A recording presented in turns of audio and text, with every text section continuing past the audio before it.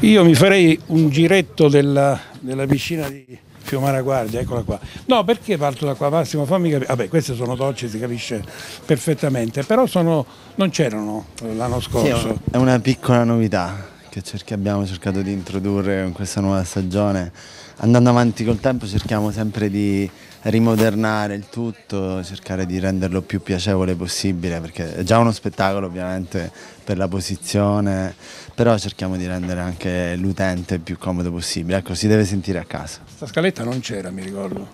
no, no, no. Dove ci porta? Vediamo un po', facciamo un giro. Così eh, faccio gli onori di casa, accomodati. Ecco. Allora andiamo avanti. No, siamo partiti dalla doccia e da questa scaletta per un semplice motivo perché ci fa piacere essere un impianto privato però dinamico, che non si ferma, anche se è un momento storico particolare della sua storia.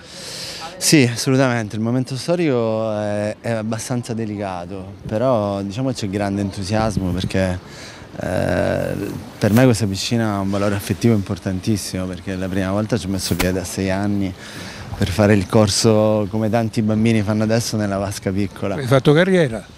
Poi ho fatto carriera, sì, ho fatto un po' di giri, diciamo l'acqua colorata non l'ho più lasciata e adesso ho avuto il piacere di, di tornare in questa piscina diciamo, con altre vesti, per cui eh, puoi capire il, il, valore affettivo anche no, il piacere. Fammi capire, scusami, tu a sei anni sei entrato in questa piscina? In realtà in quella piccola perché ancora non sapevo nuotare.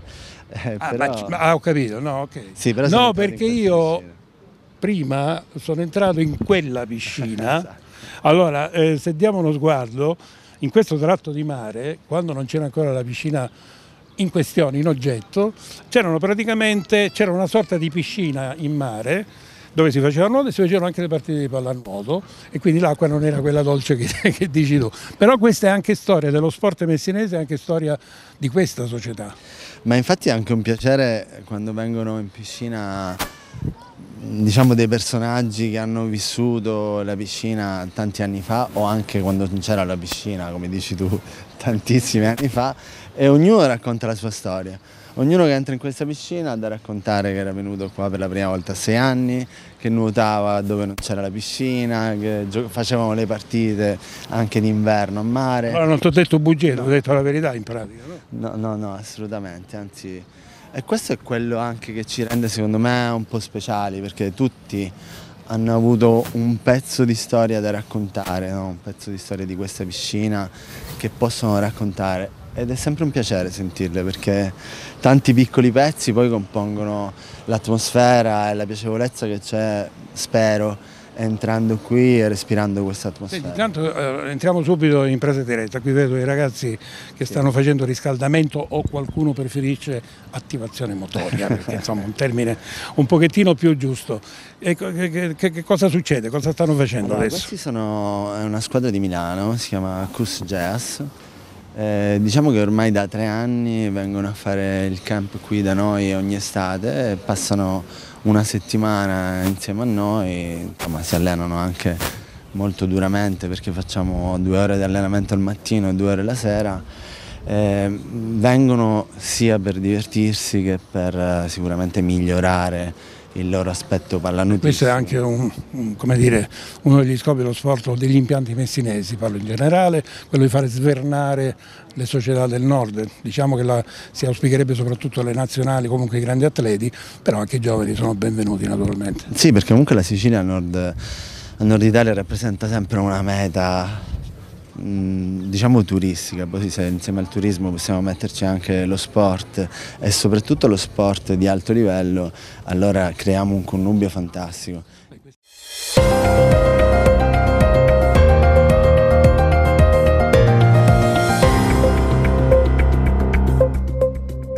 Buonasera e benvenuti a Circus, il nostro programma settimanale che ci terrà compagnia per tutta l'estate. Qui dalla Polisportiva Messina abbiamo il piacere di avere Massimo Giacoppo che ci ha ospitati e che ci ospiterà in questo percorso.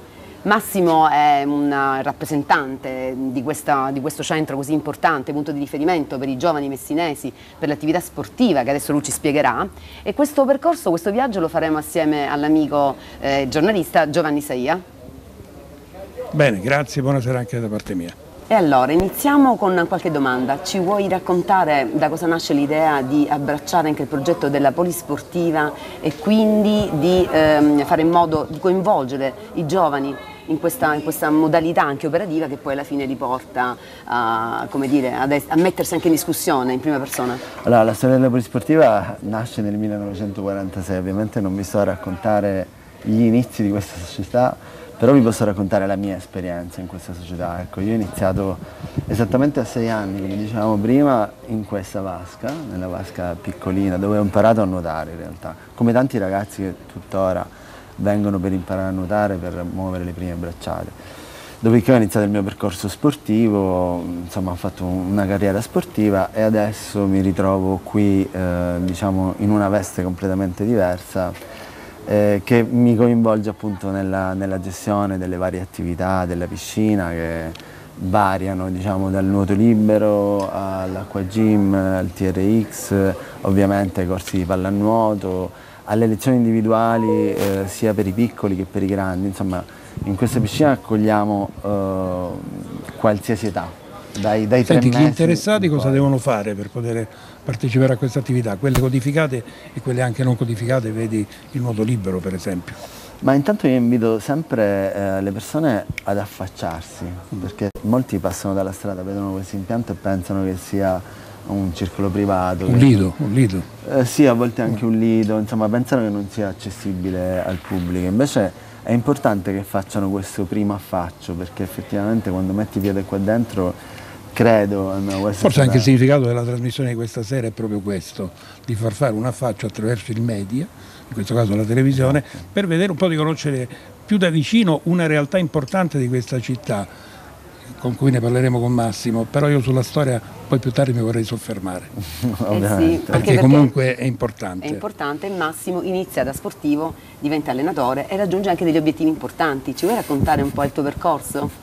Anche perché può essere uno stimolo pure per le, per le generazioni, per i giovani. Sì, sì, questo sicuramente mi piace parlarne perché appunto deve essere, um, deve essere d'esempio, insomma i ragazzi che vengono qua devono pensare anche loro di poter fare il miglior percorso possibile, spero anche migliore del mio. Io ehm, ho fatto dai, dai 6 anni ai 16 anni ho fatto nuoto, poi sono passato con eh, discreti risultati a livello regionale. Poi sono passato alla pallanuoto, ho incominciato insomma, un percorso abbastanza lungo, ho fatto oltre 20 campionati in Serie A, 180 presenze in nazionale, ho vinto l'argento olimpico. Un... Quando è stato? In che anno? Nel 2012. Ah, 2012 Londra, Londra, 2012. Vabbè, Messina grandi tradizioni nella pallanuoto, la Bosurgi settore femminile 2004 Atene, Giacoppo, insomma abbiamo avuto le nostre soddisfazioni al di là del calcio che amiamo follemente, è chiaro, sì. sul calcio non si discute. Io poche settimane fa mh, eh, ho fatto un articolo su Rete Messina che, ecco, pubblicizziamo anche le nostre cose, è uno dei giornali online del gruppo ANSA TV ho fatto un articolo ovviamente sulla polisportiva e l'ho titolato La terza generazione della polisportiva Messina. Hai capito ovviamente cosa voglio dire? La prima generazione si chiama Vittorio Magazzù, la seconda, che probabilmente si è conclusa qualche mese fa, si chiama Giuseppe Carmignani, che purtroppo ci ha lasciati recentemente, siamo vicini ovviamente anche ai figli, dirigenti della società. La terza generazione io penso che passa proprio da Massimo Giacoppo poi magari ci sarà un riassetto societario indubbiamente. Allora intanto grazie per questo diciamo, paragone eh, che hai fatto rispetto a due grandi personaggi dello sport messinese che sono Magazzù e Carmignani. Ehm, forse non mi sento ancora in grado di identificarmi ovviamente insieme a loro, essere paragonato a loro, ma sicuramente il nostro è più uno staff quindi oltre a me c'è la presenza di mio fratello Enrico Giacoppo, Giuliano Brigandì, eh, Riccardo Carmignani, diciamo che rappresentiamo uno staff attraverso il quale vogliamo cercare di imitare ecco, i, i, successi sì, che hanno avuto, che hanno avuto i, i, presidenti del passato. Ricordiamoci che eh, Carmignani oltre a gestire Giuseppe Carmignani, oltre a gestire questo impianto, a gestire altri impianti in città, ha portato la squadra in A1, la squadra di Messina in A1, tra l'altro nel periodo appunto in cui il calcio era, era in Serie A. Eh, e questo per noi è stato non solo come risultato agonistico, ma anche come impatto sociale, ha avuto una valenza veramente straordinaria, perché eh, tutti i legami che io adesso, che tutti i miei amici hanno adesso sono nati da quella polisportiva. Per me ovviamente è stata anche una vetrina importante perché poi da quella 1 io ho avuto la possibilità di andare in altre squadre, nelle squadre più forti del mondo, eh, per cui per me ha un valore straordinario quello che hanno fatto loro. Eh, ma effettivamente questo valore anche se non si diventa poi campioni eh, lo vedo anche nei risultati dei miei ex compagni di squadra che comunque sono tutti realizzati perché eh, chi è diventato un grande medico, chi è un grande avvocato, eh, diciamo che lo sport ti, ti... Vabbè, aiuta a crescere chiaramente. Assolutamente. Infatti avevo proprio questa domanda, ma come vedi lo sport? Cosa rappresenta secondo te? Cosa può rappresentare per un giovane? Beh, per me... Cosa ha rappresentato per te? Penso già la risposta sia abbastanza sì, evidente. Sì, quello è evidente, però eh, diciamo che io mi sono assunto questa responsabilità anche perché penso che il, chi gestisce le strutture sportive, le società sportive debba seguire proprio una missione perché eh, in questo momento storico ancora di più lo sport rappresenta un veicolo eh, salvifico sotto tanti punti di vista perché non solo toglie i ragazzi dalla strada, toglie i ragazzi dai vari computer, eh, social network, ma ti insegna la disciplina, ti forgia, ti insegna rispetto per l'avversario, per il compagno di squadra, per l'allenatore, eh, tutti i valori mh, per me che sono cresciuto anche con appunto il compianto Carmignani che effettivamente era un generale perché mi ricordo quando eravamo piccoli tutti avevamo paura, lo temevamo. Eh, però effettivamente confermo. Appunto penso che tutti. Perdonami, quindi rivolgendoci alle famiglie possiamo dire lo sport che consente quell'equilibrio socio-psicofisico, quindi anche per la salute, può rappresentare un'occasione? Ci sono anche tantissimi studi che dimostrano che effettivamente un euro investito nello sport ne fa risparmiare probabilmente 20 nella Quindi ci rivolgiamo ai genitori e alle famiglie per avvicinarli anche a questo contesto, a visitare anche la sede, che è bellissima qui sul mare, eh, fronte stretto e quindi c'è la possibilità anche di godere della bellezza della, del luogo. Io Massimo avevo un attimo una domanda nel senso che mi piacerebbe che tornassimo da questo escurso storico alla concretizzazione, l'operatività, quindi come è articolata la polisportiva, quali sono i corsi? I ragazzi vengono qui e cosa fanno? Allora i ragazzi intanto vengono, oh, possono iniziare semplicemente da un, un, corso di nuoto, quindi possono intanto imparare a nuotare. Io arrivo non so nuotare, per cui imparo a nuotare. A qualsiasi età. Eh a qualsiasi età, devo dire che eh, mi odierà mia madre perché dico questo, mia madre ha imparato a nuotare l'anno scorso, quindi... Giovanni c'è sempre speranza. No, io so nuotare, eh, grazie a Dio. Io frequentavo la polisportiva, intanto come atletica, e quindi poi ti devo fare una domanda, però ho frequentato pure chiaramente la, la piscina e dicevo poco fa, eh, qui c'era, non c'era la piscina, ma c'era una piscina a mare dove si faceva il nuoto e la pallanuoto chiaramente stiamo parlando prima dell'82 perché questa è una piscina che è stata inaugurata nel 1982. A proposito... E ma stava raccontando proprio questo, sì, quali sono le attività? Sì, le, le attività poi devo fare una domanda molto importante. Quindi dal nuoto base, per cui c'è speranza sì, anche per noi. Il nuoto base per tutte le età, quindi da, dai tre mesi di età fino a appunto mia madre ha imparato a nuotare a 65 anni. Eh, poi si può fare anche come divertimento eh, e attività fisica, aggregazione, acqua fitness, TRX, mm. ovviamente i, i, corsi di pallanuoto. Eh, dimentico qualcosa? Direi di no. Direi. Io direi che prima si parte dall'attività motoria di base, il divertimento di fare la nuotata senza il problema del tempo, del numero di vasche, eccetera. Poi chiaramente nel tempo e col tempo e con la giusta presenza tecnica che mi deve ovviamente stimolare, posso anche passare al settore agonistico, allora lì si aprono tante strade. Tu hai fatto le Olimpiadi, io ho fatto le Universiadi, chiaramente non come atleta, e ricordo le frasi del professore Giovanni Bonanno, che sicuramente conoscerai, che è stato lo storico presidente del CONI. E quando ci riunivamo per, eh, per tante cose, lui sottolineava il fatto che è difficile costruire impianti sportivi, anche perché ci vuole un impegno economico, ma è altrettanto difficile, se non addirittura superiore, gestirli. Questo è un impianto, e io metterei in risalto questa cosa, che esiste dall'82, che va avanti e lo stiamo vedendo oggi, ma soprattutto è un impianto di proprietà, perché qui potremmo aprire un convegno. Io guardo certe volte Londra, l'Inghilterra, parliamo di calcio, A Londra c'è Wembley, 90.000 posti, Tigram, 80.000, Rugby, Chelsea, Tottenham, quest'anno, eh, tutte squadre che hanno il loro impianto di proprietà. Arriviamo in Italia, se l'Inter e il Milan vogliono l'impianto nuovo dobbiamo sacrificare San Siro. Dice che c'entra? No, il problema è l'impiantistica. Io direi che una società come la Polisportiva Messina, che ha un impianto di proprietà, può essere fiera, anche se naturalmente ovviamente ci sono, no dico difficoltà, ma comunque bisogna gestire un impianto e portarlo avanti. Anche questa è l'eredità di Magazzone di Carmignani. Assolutamente, questa la ritengo una grande fortuna, prima di tutto averlo vissuto da utente, diciamo, da atleta questo impianto e adesso appunto viverlo da, eh, da gestore, così, per così dire. È assolutamente un, una, una, fortuna immensa perché è un impianto bellissimo, è sulla spiaggia ed è di proprietà, di proprietà, nonostante adesso come sapete ci sono tante difficoltà con le concessioni demaniali, ma insomma che, che speriamo di superare col tempo, però è assolutamente una rarità e so quante difficoltà ci sono in tutta Italia a Messina, in Sicilia, in tutta Italia e anche nel mondo ad avere impianti eh, fruibili insomma, per qualsiasi tipo di attività. Una scelta del genere è comunque una sfida perché vivere di sport spesso è veramente difficile.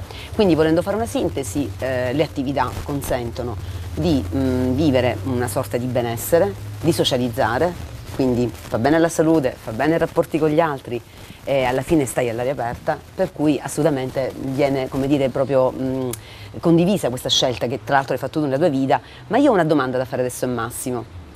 Massimo Giacoppo, allenatore, futuro presidente, non sappiamo insomma nel futuro diciamo poi quello che tu scegli nella tua vita, ma come ti vedi domani rispetto all'attività sportiva? Cioè ne farai proprio un motivo, un leitmotiv della tua vita?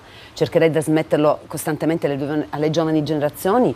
Oppure eventualmente poi, non so, dico, dici tu, come, come ti vedi? Ecco, qual è tuo, la tua ottica? Grazie per la domanda perché mm, è una domanda alla quale tengo effettivamente, cioè, è un concetto al quale tengo perché prospettive ecco, in questo senso. Come cercavo di dire prima è appunto una missione quella di, di fare sport, eh, sappiamo quali sono le difficoltà, soprattutto gestire una piscina che non è un semplice campo, certo. eh, una piscina ha tante difficoltà in più. Il costo dell'acqua, non dico altro. Il cloro, l'acqua, eh, insomma i motori, ci sono tante difficoltà rispetto a un semplice campo, adesso non voglio sminuire chi gestisce altri, altre strutture sportive, però sappiamo eh, le difficoltà che, che, comprende gestire una piscina. Mi risulta, scusami, che la piscina più importante di Messina, quella dei Cappuccini, sede dell'Università di piscina olimpica eccetera, è ferma.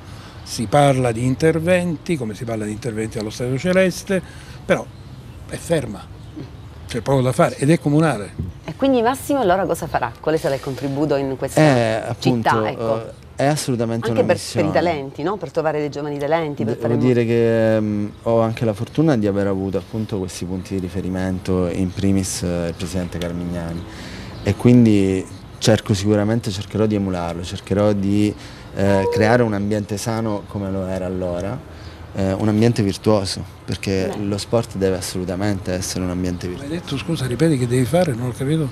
Devo emulare?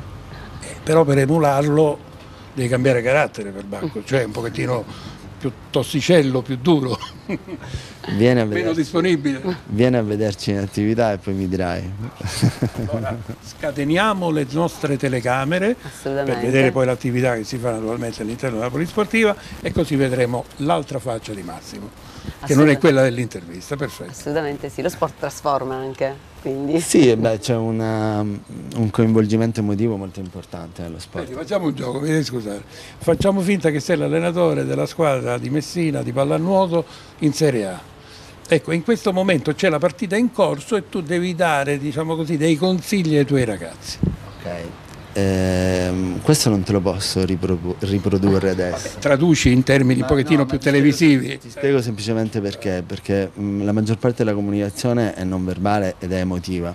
Quindi se io adesso mm. non provo quell'emozione non te la posso trasmettere. Ma quella verbale per esempio, tu no, che fai? Mettiti là, fai no, così. Intanto vabbè, noi seguiamo com come struttura, come società, cerchiamo di attenerci a un atteggiamento, come dicevo prima, anche virtuoso e nei limiti del possibile educato, per cui cerchiamo sempre di eh, non... Quando c'è l'emozione del momento, diciamolo. Chiaro chiaro, eh, ti ricordo che io sono anche un giocatore e quindi so bene quali Quante sono... volte da giocatore?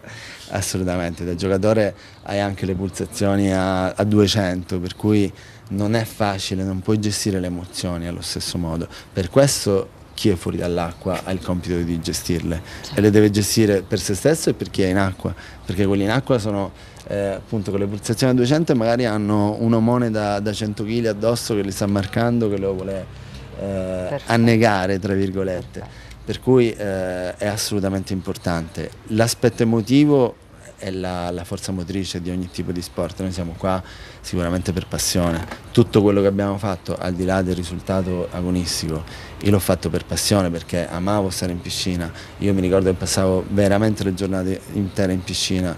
Tante Ma volte... per avere certi risultati mi pare che non c'è alternativa. Sì, eh, in realtà lo facevo, io facevo due ore di allenamento, spesso ci allenavamo Quante volte si deve allenare quindi uno sportivo che lo fa in maniera agonistica? Eh? Questo piccolo esempio eh. è abbastanza emblematico. Io mi allenavo dall'1 alle 3. Ogni eh, giorno? Sì, quando ero piccolo, diciamo, dall'1 alle 3 e poi la sera dalle 8 alle 20. No? Eh, eh scusami, dalle 8 alle 10. Ehm, è capitato un paio di volte che mi vedessi spuntare i miei genitori in piscina perché io in quella pausa dalle 3 alle 8 ero rimasto in acqua. Però ero rimasto in acqua non a, ad allenarmi ero rimasto in acqua a giocare a tirare in porta con i compagni. Per cui l'aspetto ludico è sempre, sempre fondamentale. È quella la vera passione. E perdonami a proposito di pallanuoto viene vista tra virgolette un po' come un'attività con una propensione al maschile. Le ragazze la scelgono questa attività? Mm? Eh, sì, effettivamente mm. è un'attività scelta anche dalle ragazze, anche se è uno sport... Um, adesso non voglio essere discriminante. No, assolutamente, stiamo facendo anche eh, un, il salto eh, con l'asta femminile, il lancio del martello sempre. femminile, c'è un movimento femminile che no, ci anche ascolta. il calcio femminile. Il calcio quindi, femminile, eh, tutto, quindi, le politiche di genere anche nell'ambito dello quindi sport. Quindi va bene io, la parità. Ma naturalmente da giocatore, anche a, ad allenatore, io chiedo a Massimo proprio perché eh, magari ci può dare qualche input in più per comprendere se effettivamente anche le ragazze possono svolgere queste attività piene e raggiungere obiettivi o è tra virgolette al maschile, come eh, la vedi? Assolutamente, eh, come dicevamo prima Silvia Bosurgi è un esempio di aver portato questo sport al massimo perché lei le Olimpiadi l'ha fatta, ha vinto la medaglia e ha vinto quella più importante tra l'altro. Atene 2004. Assolutamente. Quindi abbiamo l'esempio pratico. Abbiamo un esempio in casa, anche un esempio molto virtuoso che appunto eh, spero che possa essere emulato da, da, tante altre ragazze, ovviamente qua la piscina è aperta a tutti, ci mancherebbe. Sì, però altro. dico tu registri che c'è una minore adesione? Sì, mm? chiaramente, ma io penso per la, per la, tipologia di sport attira più uomini. Eh, però devo dire, devo dire la verità, io tanti anni fa, proprio a Messina, alla vicina Cappuccini, spiegherai un torneo internazionale giovanile di pallanuoto femminile Diciamo che le ragazze fisicamente, beh, erano giovanissime ovviamente? Eh, tanti anni fa, penso secolo scorso, dovrebbe 99, essere... Forse. Sì, penso... Ti ricordi che ci fu un torneo internazionale alla piscina Cappuccini? È stato sì, dopo le università del mondiale nel 99. E mi colpiva l'arbitro che a un certo punto diceva no gol, no gol. Praticamente c'era anche lì il problema se era gol o non gol, non c'era il VAR, non c'era la televisione, però c'era l'arbitro fiscale no goal. Ti ricordi questo passaggio? Sì, sì, Probabilmente sei la ero, stessa. Ero, ero, già, avevo 16 anni, ero, ero addetto allo, allo smissamento degli spogliatoi. Non ti ho visto, devo dire la verità. Ecco. Ah, no, Però stavo dicendo questo, a proposito di uomo, donna, eccetera, sì. mi colpì il fatto che comunque le ragazze non avevano il fisico della nuotatrice, avevano un fisico un po' più diciamo Sostenuto, robusto. robusto. Eh sì, perché comunque è molto muscolare l'attività che fanno, certo. che non è solo tenere la palla, passarla, segnare o stare a galla, ma è difendersi dall'omone di 100 kg che ti vuole buttare giù. Viene visto come effettivamente con una, predominanza maschile. Io direi semplicemente questo, Giovanni, che cosa ne pensi? A questo punto non ci sono limiti di età, non ci sono problemi sul genere. Uomini e donne ci possiamo iscrivere, possiamo iniziare il nostro percorso. Ma infatti io ti stavo chiedendo proprio questo.